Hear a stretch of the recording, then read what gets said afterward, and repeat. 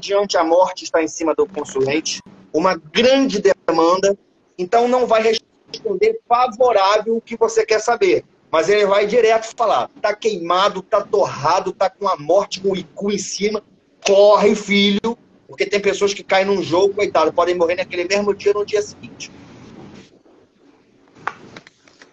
E aí fecha o jogo. Não é que Exu não responde, Exu fecha, ele já está mostrando ao sacerdote o que está acontecendo.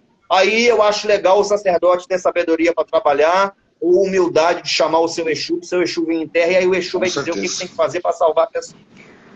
Bom, a Se próxima der, né? pergunta né? de. Mestre, a próxima pergunta. Tá, eu já boto.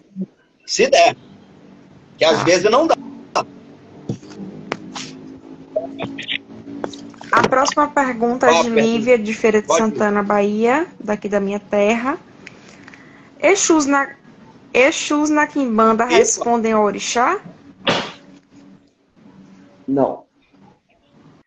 Não. Dentro da Quimbanda, os Exus até respeitam né, as divindades, respeitam o orixá, respeitam o Inquis, mas o Exu ele não, ele não trabalha na, na energia do, do, do orixá em si, ele não ele não vem amando do orixá, ele vem amando dele mesmo. Entendeu?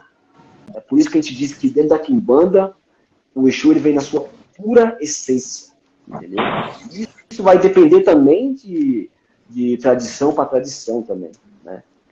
É isso. Com certeza.